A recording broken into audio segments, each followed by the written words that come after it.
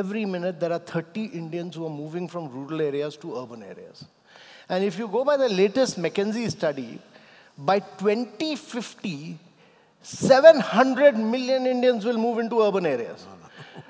and whether we like it or not, the challenge for India is to create two and a half Americas. Two and a half Americas. This is a challenge.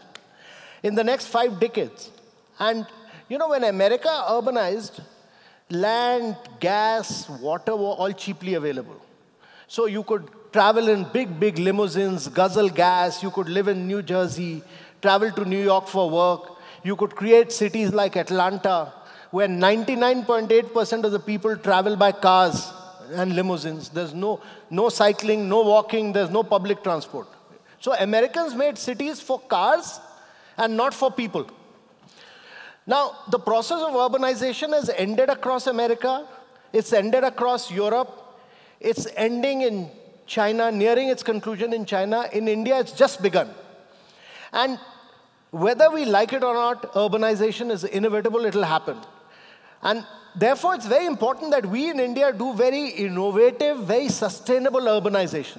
We recycle our water, we recycle our waste. Uh, you know, we are able to build cities on public transportation. And to my mind, the biggest challenge for India will be the challenge of urbanization. And these are challenges where we need to innovate. Innovate for based on India's conditions, for India's requirement. You know, the Western world has always innovated. So you've traveled to Silicon Valley, you have all the most innovative people with no challenges. So they are, they are innovating for driverless cars.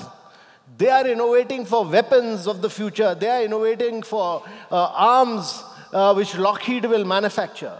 But in India, our challenge is how do we convert waste into energy? How do we ensure that we are able to provide water which is fluoride and arsenic free? How do we do better engineering for our flyovers? These are our challenges.